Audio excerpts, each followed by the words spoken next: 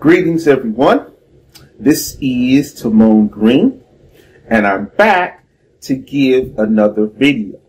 So, in this video, I'm going to be discussing record keeping for rideshare drivers. So, by rideshare drivers, I mean if you drive for companies such as Uber or Lyft, it's very important to keep track of accurate records, not just for personal reasons, but mainly for tax preparation. So I'm going to be giving you some tools for accurate record keeping to keep track of all of this information for tax purposes and also for personal purposes. Now, however you look at rideshare, some of you can look at it as a side job or a business. But either way, side job or main business is still a business. So everything that you do as far as record share is concerned needs to be reported to the IRS. So one of the tools that you can use for accurate record share driving is QuickBooks Online. Now, QuickBooks Online is great, a great platform for business record keeping. And the good thing about QuickBooks Online is QuickBooks Online can be linked directly to your business. Or, well, you don't have to have a business bank account. I take that back. It could be linked to your personal account. And if you, you know, use your social security number when you sign up for Uber and Lyft, then all of the income that you get from Uber and Lyft is going to go into your bank account and you know that it's from Uber or Lyft because it has specific descriptions.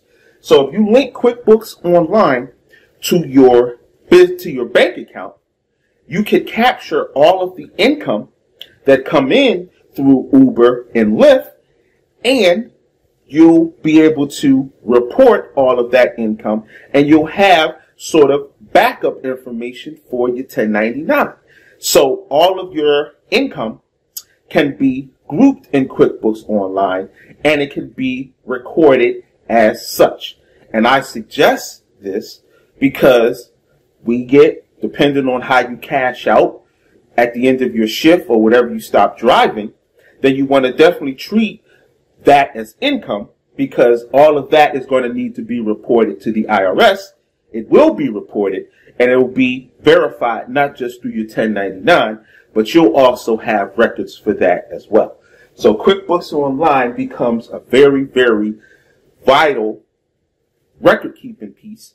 And I'm going to talk a little bit about uh, a little thing that I'm giving away to all of my Uber and rideshare drivers. I have a little uh, announcement after I go through all of these topics. So bear with me for just a couple more moments as I'm going to be introducing something that I'm going to be doing on this channel specifically for y'all at no cost. All right. So that's QuickBooks Online. So the second thing that we need to keep track of for record keeping is all of our vehicle miles. That's also presented to you on your 1099, but it's also good to have a personal log of all of your vehicle miles that you do as well as backup. So every ride that you give with Uber or Lyft, you know how many miles that you're driving, and then you can always get a breakdown at the in the app of all of your miles, which you can track for tax purposes. So there's vehicle miles. Now next, we have a system of scanning all of our receipts. So receipts includes things that you purchase that is related to driving. So if you buy the, if you purchase water for your passengers or mints or gums or anything, maybe it's cans, it's, it's, uh, whatever it is that you pass out and give to your passengers, you want to keep receipts of all of that. So if you do indeed purchase bottled water, or if you purchase mint and gum to give to the passengers when they get into your vehicle, that's all tax related and tax deductible. So you can write that off. Also, receipts for vehicle repairs, vehicle maintenance.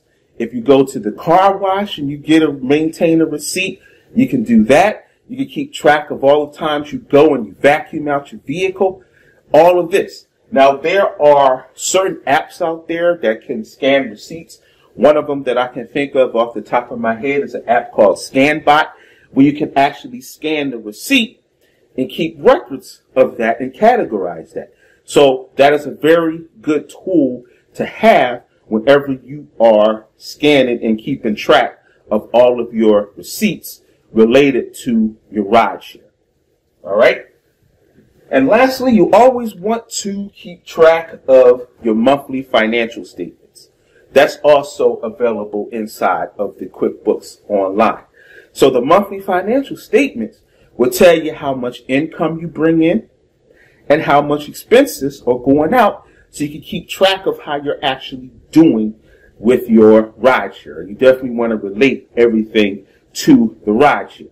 Now, in order for this to be effective, you know, usage of your debit card whenever you purchasing things is a good way to keep track of all of your expenses that you are providing in the rideshare. Now, all of your income go directly to your bank account through the app, but whenever you use a debit card to purchase something, such as, uh, you know, the, the water or the gum or the vehicle repairs, tires, whatever the case may be, you want to use your debit card. That's always my suggestion so you can keep track of it. And the monthly financial statements will break down how much income is coming in and how much expenditures are going out so you can really see the net value in your rideshare. And just like how I teach you online about rideshare, the best way is to treat it as a business because it is. So you want to keep track of everything. So that is the monthly financial statements. So these are some of the tools that can benefit you when you do the rideshare.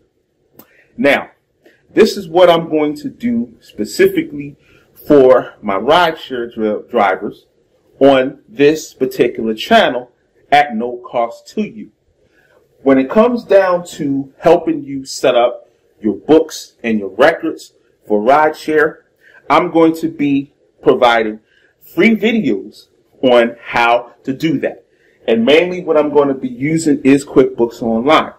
So I am going to give you rideshare drivers only free lessons on how to use QuickBooks Online to do certain things to keep track of your books and records because it is very important and it's very essential. And I don't want anybody getting in trouble with the IRS or losing out on certain deductions that they're missing.